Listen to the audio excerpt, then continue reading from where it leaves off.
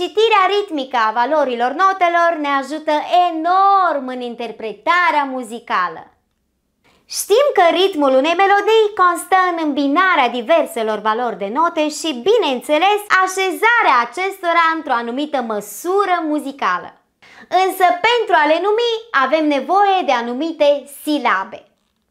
Nota întreagă, adică cea mai lungă notă muzicală, durează patru timpi, iar pentru a o numi avem nevoie de patru silabe.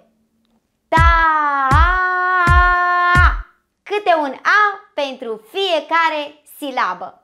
După exemplul expus, doimea, adică nota de doi timpi, va avea două silabe. Ta!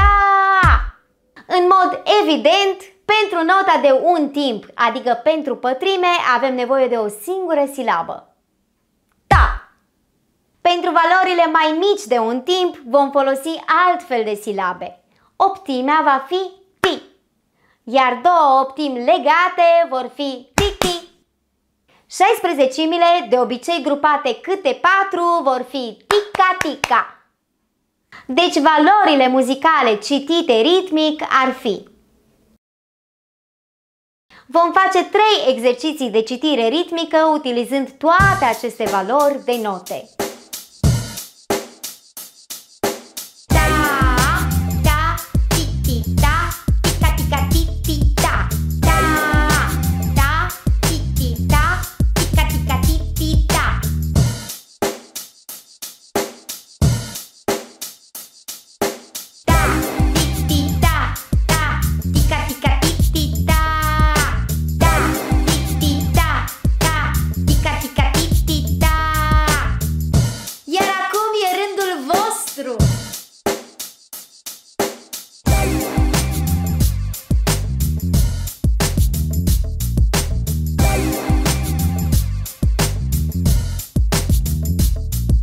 Ritmul împreună cu înălțimile muzicale creează melodia atât de plăcută auzului.